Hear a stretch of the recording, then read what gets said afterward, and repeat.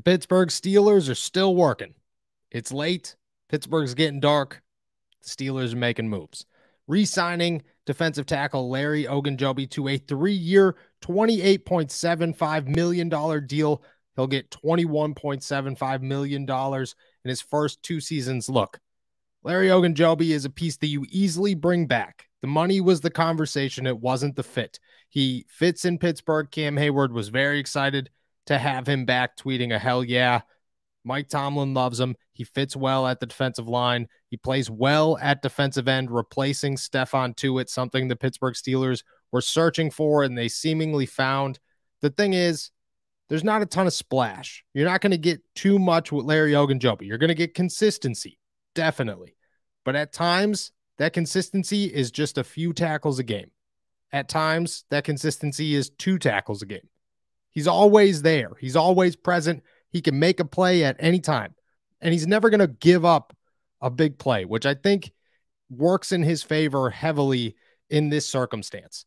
But at the same time, I think you could excel a little bit more at that position. I think you could find more upside for the price that the Steelers are willing to pay. I had Larry O pegged a little bit below what he signed for last year, which was a one year, $8 million deal. I thought he'd get about six, $7 million per season.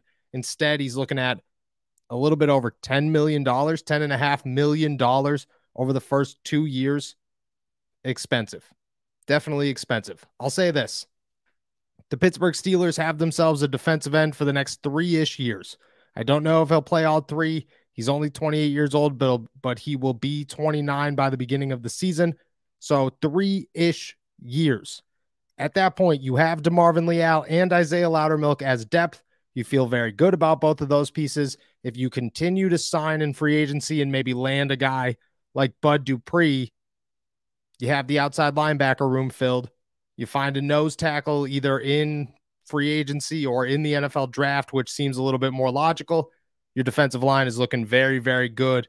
The Steelers have other holes that they obviously need to fill, but defensive line was an easy one that they could avoid. And I think that was high priority for them is to just say, hey, look it.